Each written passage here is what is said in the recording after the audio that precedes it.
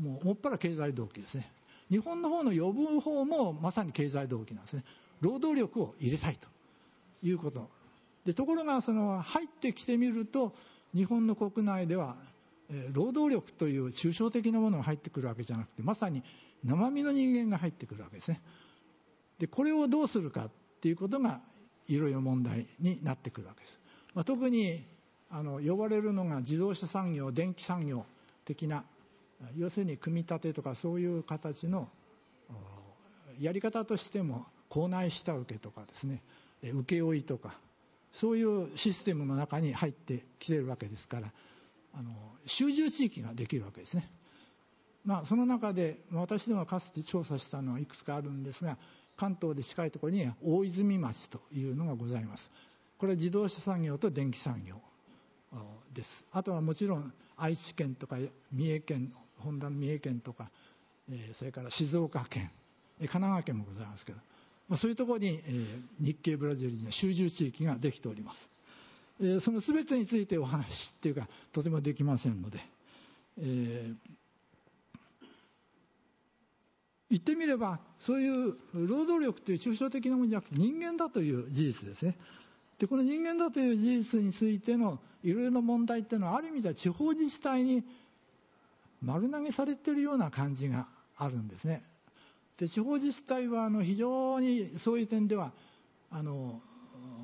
いろいろな問題を抱え込んでそれなりに努力してるっていうことは、まあ、私がいろいろなとこ歩いていて分かりますもちろんそれに対してのいろんな批判もございますし、えー、等々もございますけれども私は全体としては大変いろいろ気を使ってやってるということは分かりますでただあのその中のショックの一つは自治体に関わりなく人間の問題として考えますとあのブラジル人日系ブラジル人が入ってきた日系っていうことにあの重点を置きますと日本人の顔をしてるはずだということがあるわけですね。でかつて日本からブラジル行った人たちはブラジルでもってこれは向こうでよく聞かされた話なんですがあのカラのムーだ。カラのアジューだっていうことをよく言っておりましたあのまあ言ってみれば顔つきは変わらない。で変わらない顔つきっていうのはその場で誰も助けてくれないと、まあ、一種の差別に対するですがこれはあの差別には違いないんですけれども一つの主観的な問題を含んでいて一種の偏見あのまあ、ポルトガル語で言ったらプロプレビストとでも申しますか。そういうもんだと思うんですね。で偏見というのはこれはお互いに知識を交換し話し合って交換し合うことによって解消されるべきものなんですね。あのでその努力をするってことがあの非常に大事なんじゃないかというふうに思っております。あの実際に先ほどの向こうでのアンケート調査に行って日本で困ったことは何だって聞かれるとそれはコミュニケーションの不足と。それから文化習慣のコミュニケーションの不足とは45%答えてるんですね。これは要するに話し合いをする場っていうかチャンスっていうか姿勢というか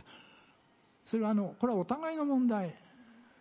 制度の問題もあるかもしれませんけどお互いの問題っていうのは関わってるんじゃないかと思います。あの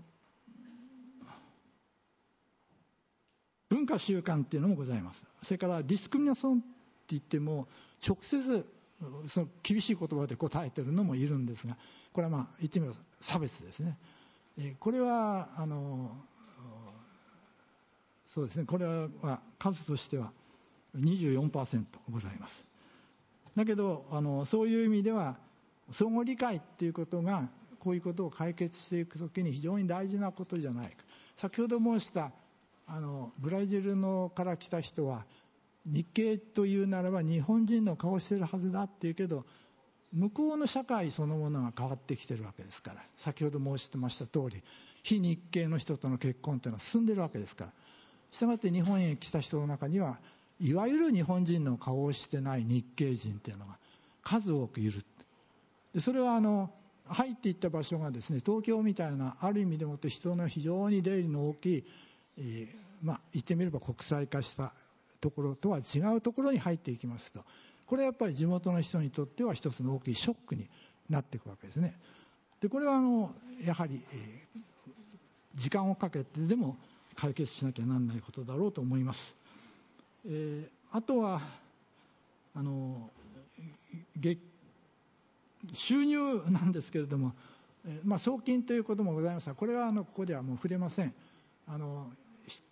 大体送られている数っていうのが、まあ、一つの説によるとブラジルの去年の場合ブラジルの牛肉の輸出量を日本から送られた金が上回ったっていうようなそういう統計もございます。あのだけどまあそのことは特に申しませんがただあのやはりあの収入そのものはですねこれはこのサンパウロでの調査帰国した人たちを調査した数で言いますとやはりあの1年間で1年間じゃ1か月でもっていろいろな為替換算して計算すると為替の変動によってどんどん変わるんですけれども、まあ、7万円多く見積もっても10万円ぐらい。とか日本でもって手に入る金っていうのは今とっても安くなってるんですけどにもかかわらず大体30万以上稼いでるっていう人がやっぱり相当数おります。だからこのやっぱり一種の所得の格差っていうか所得のチャンスの格差ですね。でこれはやはり日本へ向かわせる一つの理由であって逆に言うとなかなか帰国はしたくない。だけど今の日本全体がやはり経済自体が特に自動車電気っていうのは一つの急速にここでもって変わりつつあるあの産業部門ですから、えー、帰りたいところなんだけど帰れない。もう致し返しという人たちが非常に多く増えております。あのまあ、最後に現状を見たいと思いまして私の研究者仲間の友人の便宜を図ってもらって、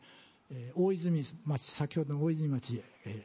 先日行ってまいりました。あの確かに町は賃貸しております。それからブラジル人っていうか仏系ブラジル人の集まるあのプラザがあるんですけれどもそういうところに求人広告なんか出てるんですがそういうのを拝見しますともう機械とか電気産業みたいな工場労働者的なものよりも一番安いんでは例えば時給800円。800円というとどのくらいかって言われて困るんですがあのかつて、えー、ブームの時にあの電気産業自動車産業のところでもって、えー、取っていた時給が2000円を超えております。だからそういう点では800円ぐらいでもってあのうどんの製造とその包装なんていう作業があるんですね。でこれはそれとかあのまだ他で申しますと漬物製造っていうのもございます。これも時給900円それからあのガラス製品包装1000円トラクター部品になってくるとやっとそれでも1300円だそういう点では賃金が減ってきている、まあ、同時に今今はあの非常に問題になっているリストラ問題というのが、ええー、ありましてにもかかわらず結局帰れないということがございます。で帰れないっていうのはあの一つには私は、えー、長く付き合っていて分かることはですねあの初めは出稼ぎで行っても5年10年そこに滞在しますと、えー、子供が大きくなってくるんですね。で特に日系ブラジル人が日本に来た初めはですね独身者が多かった。これは私ども調査でも分かります。でそのうちに様子を見て家族を呼び寄せてで今度は家族労働でもって家族が揃って日本へやってくる。それから独身で来た人も日本でもって結婚して世帯を持つ。そういう人も出てくるんですね。で子供ができるんですね。で子供がね5年まり10年滞在10年以上って人随分いますから10年経ちますと学齢にもちろん達しますし今やあのちょうど問題になってきたのが高等学校進学をするような子どもたちが相当増えてるっていうことですね。